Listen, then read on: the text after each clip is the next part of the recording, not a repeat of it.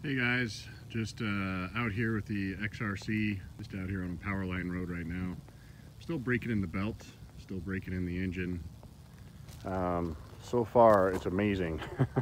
I was going from a 900 uh, XP and a 2013 model, and uh, I was just going to take it out on a little ride, and then I was going to do Brandon Pierce's uh, adjusting to the shocks, which I may still do. However, riding it, I'm just like, holy crap, I, I guess I'm just not used to this much travel. It feels pretty dang good to me. That's uh, my preliminary report on that.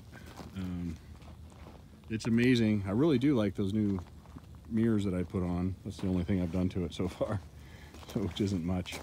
But it just it just comes so equipped. So um, very very happy so far. I uh, really have uh, no complaints. It's uh, I'll report some more here when I get a little bit further down the road. But uh, on my couple five mile rip here, it's it's been pretty phenomenal. Um, haven't really found much wrong with it. I got a little. This is a little uneven right here where this rubber stripping is.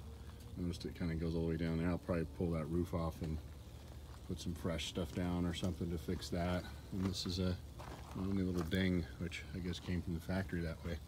Have to see if I can find some uh, orange paint, Can-Am orange somewhere. Um, anyway, just wanted to report in real quick.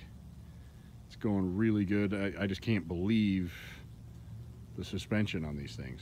It's uh, shocking when you're not used to it. So anyway, I still haven't taken it out of low gear, so I'm sure it's a whole new world when you take it out of low gear too, but I'm just trying to break in the belt and the motor and whatnot.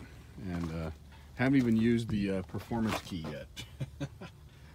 so, um, yeah, I'm sure I'll have more to report. Anyway, have a great day.